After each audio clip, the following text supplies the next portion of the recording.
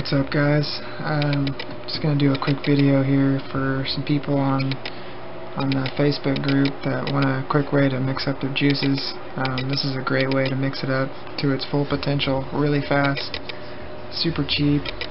Um, really, you don't even need. I mean, steeping always helps. Time time is is always good for e-juice to steep, uh, but this is a, a way to really speed things up. Um, my custards used to take, you know, a good two weeks to really steep and get rich in their flavor, but this will do it in three minutes. So we'll just dive right in. Um, basically, all you need is, uh, okay.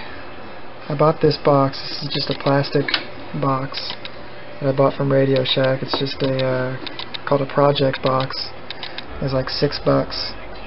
It comes just like this with four screws to mount. Um, it's very simple.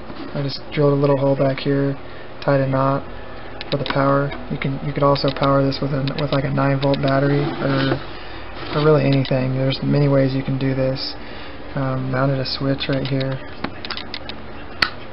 Just a little toggle switch. Then inside, all you do is um, grab an old PC fan this is just a 12 volt fan out of a freaking like a 1998 PC.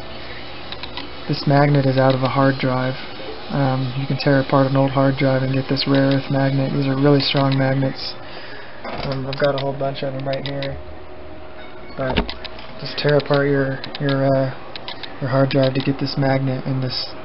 Some people glue these onto their fan, but it, this will actually stick to your fan. This is just stuck on it so there's really no need to, to glue it down. Um, it does just fine, just just kind of magnetized to the fan itself, and then some people mount the fan with bolts onto the lid.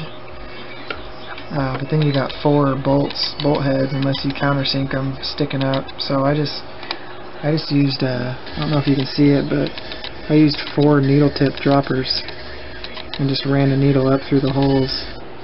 And then I mounted uh, the droppers onto some velcro, some sticky velcro. Can't really see in there, but it's just mounted onto some velcro so I can kind of make small adjustments if I need to.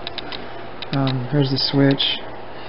Very basic wiring. Um, I power it with just a 9, this is a 9 volt uh, power from, a, from an old router I picked up at Radio Shack in their bin.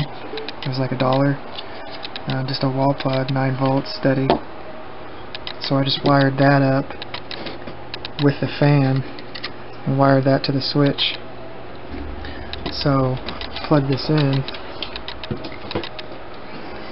hit the switch, and it turns the fan on. And you want this fan to be as high up as possible without making contact with the bottom of your lid. That way it's strong.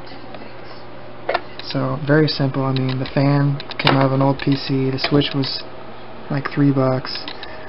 Um, the the electrical, the 9 volt power adapter was a buck.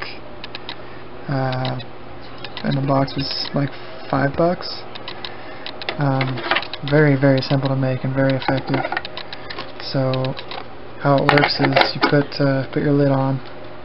I'm not going to screw it down for now, but um, whatever you mix your juice in, I usually just mix in a, in a little 50 ml flask. Um, get on Amazon or eBay and buy some little little uh, magnetic stir rods. These are Teflon coated, no, not Teflon, some kind of plastic coating. It's anti-corrosive. They come in a million different sizes and they're really cheap. So you just drop this into your into your flask. Make sure it's centered up hit the switch.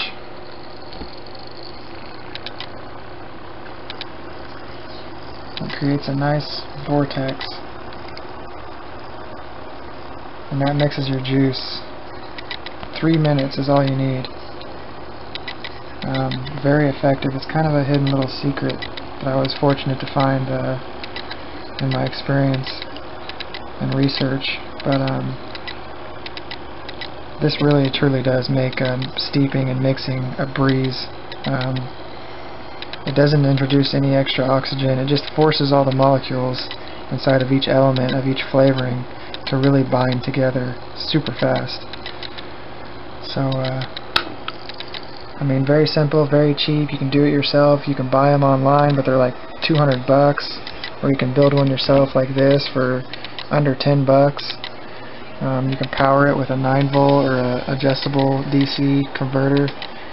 Um, super, super easy, super effective. So, yep, I'm going to cut it there. You guys take it easy.